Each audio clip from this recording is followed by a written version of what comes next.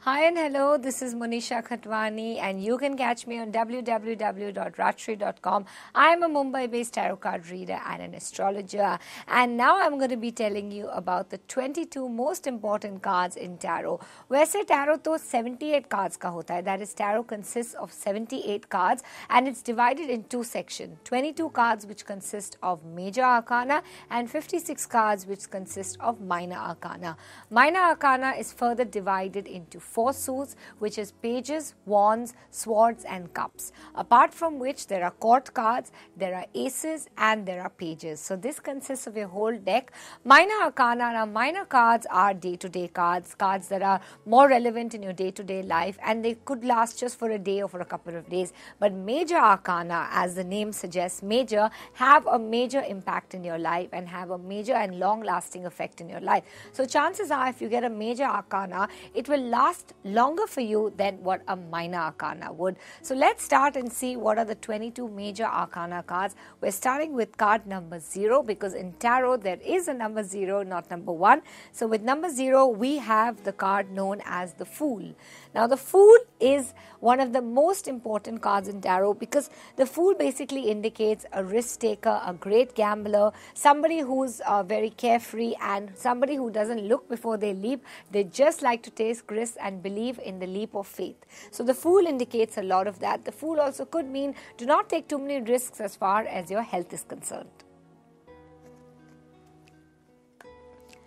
Now we're going to move on to card number two. And card number two is the card of the magician. That's right. The magician, well, actually, it's card number one in terms of numeric numbers, but actually, in sequence, it's card number two. So, the magician ideally means the, the power of magic. As far as your confidence level goes, the magician is a very, very important card. It generally means manifestation, confidence, having faith in your abilities, like performing magic. It's almost like when you go to a magic show and you watch a magician perform its magic, you're completely mesmerized by his tricks. And the same thing with the magician. It means your performance is absolutely magical, or it means that you have the magic to create whatever energy you want in your hand. So the magician actually indicates magic in your life. The third card we have is the card of the High Priestess, which actually in sequence is card number two. And it is basically a card of prayer because the high priestess is a card of prayer it's a card of spirituality it's a card consisting of occult of tarot of astrology. So you've got the high priestess which indicates a lot of knowledge it indicates a lot of deep thought it in- indicates a lot of spirituality. If you can see the card has a lot of meanings but the basic main meaning about this card is to do with spirituality occult. Somebody who's a psychiatrist would represent this something to do with your mind something to do with spirituality something to do with prayer something to do with the mysteries of life, like they say, the occult or the sciences of life. Then card number three, known as the Empress. Now, the Empress, as we say, is the Lakshmi card or the card of all abundances, the card of all happiness, especially material wealth, financial wealth, materialistic gains. And for women, this is a very important card as far as pregnancy and children are concerned because the Empress indicates a woman getting pregnant or a woman who is pregnant or a woman who can bear children or who will be bearing children soon. Apart from which, the Empress also indicates very good aspects as far as your love life is is concerned, it means you'll be like an empress in your love life. For females and for males, it means a very, very happy and satisfying love life. Then we have the card of the Emperor, card number four. So the Emperor means somebody who's willing to take control, willing to take charge, willing to be very, very strong and authoritative. So the Emperor actually signifies authority, it signifies confidence, it signifies having a lot of faith, and it signifies a lot of discipline. The Emperor also means some elderly figure in your life. So it could be your father, it could be your uncle, but la- chances are it will be a male or it's likely to be a male who has a very strong control over your life. Now we move on to card number five, the Hierophant. Well, the Hierophant signifies commitment. This card, if you can see, is almost like a priest getting you married. So, this card is all to do about marriage, commitment, engagement, wedding plans. Uh, you know, the Hierophant indicates ceremonies taking place, and basically, it is the card of commitment. So, when somebody asks you, How well do you think my boyfriend will be committed to me, and the Hierophant comes, chances are you'll end up marrying that person. This is just a random example, but basically, the Hierophant signifies commitment of any sort, mostly to do with your personal life, but can also signify commitment as far as your emotional life is concerned, professional life is concerned, or your health is concerned. Now we move on to card number six. It is known as the lovers, and as the card indicates, it basically connects with your love life, romance. As far as the opposite, you can see there is a male and a female, so opposites attract. And of course, there's an archangel over here. So the card basically indicates with your love life, your romantic life, marriage plans, relationship plans, meeting a new life partner, chemistry, good energy. So the the lovers basically signifies all of that. Everything to do with your love life, everything to do with your romantic uh, life, your romantic liaisons, and also the lovers could be as far as your profession is concerned that you're very much in love with your profession or you really have a very strong passion for it. So basically, the lover signifies all of this. And now we move on to card number seven, which is the card of the chariot. Well, the chariot indicates a lot of professional success. The chariot is also known as the Arjun card because this is the card of focus and dedication and duty. This is the card of duty and responsibility. In the Mahabharata, Arjun performed his responsibility, he performed his duty towards his family or whatever his karmic duties were. Again, the chariot indicates a lot of duty, a lot of uh, focus as far as career and personal matters are concerned, family responsibility personal and professional success, apart from which taking the good and the bad, that is the black and the white in your life, with all stride and accepting what your karma has brought you to be. So, the chariot is a very good card for work and professional matters. Now we move on to card number 8 with strength. Now this is known as the Durga card as this signifies strength. The card itself has the meaning in itself. If you can see there's a lady trying to tame her animal nature, trying to be very strong. So this indicates mental, emotional or physical strength. And now we move on to card number nine, which is the card of the hermit. Now, the hermit specifically means deep thought, introspection, thinking, and really making each decision. The hermit also means looking deep within. It could also mean moving towards some spiritual guidance or taking some advice from some elderly person. Now we move on to card number 10. It is the card of Wheel of Fortune. And as the card suggests, it's a very auspicious card because fortune obviously means good luck. So the Wheel of Fortune means everything good happening in your life, planets moving in your favor, stars moving in your favor, the wheel spinning the exact way it should in your life, destiny favoring you and destiny happening to you the way you want, and good luck. So the Wheel of Fortune is a very, very auspicious and good luck card.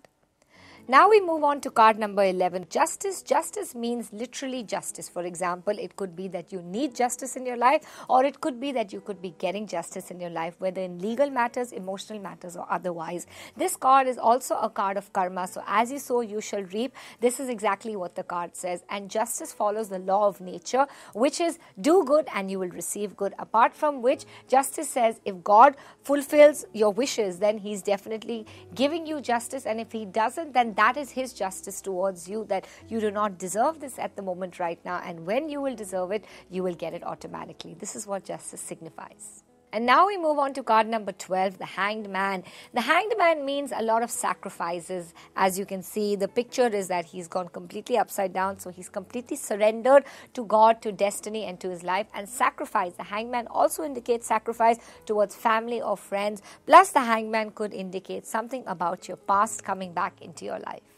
Now we have card number 13 known as death. A lot of people feel very scared when this card appears, but this card doesn't literally mean death. It means transformation and change happening in your life. Only when death happens can birth happen again and vice versa. This is the law of nature and death signifies just that. If you can see there's a sun coming out of the card which just specifically means specifically means that there will be something new, something better coming up. It could be death of a bad phase, ending of a bad phase, but death when it comes for health matters is obviously not very positive, so you need to take care of your health.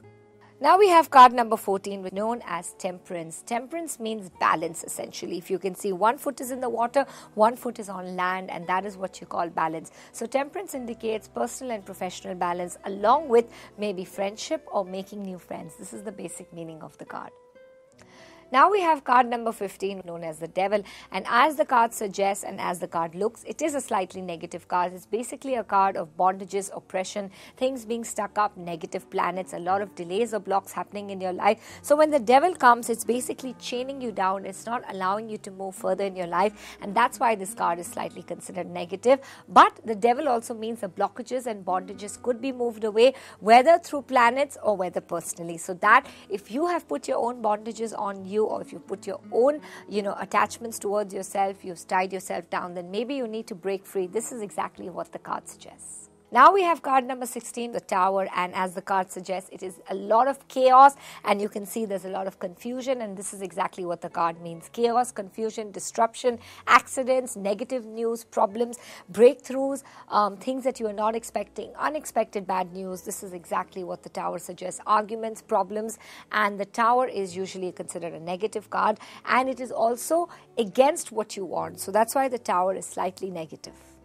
Now we have card number 17 known as the star. After two negative cards, we move on to a more positive aspect. The star means, of course, stars literally themselves. That is the planets, the stars, your destiny, everything. And the star also means hope, joy, happiness, things moving, stars being in your favor, things changing for the better, and a lot of success coming your way.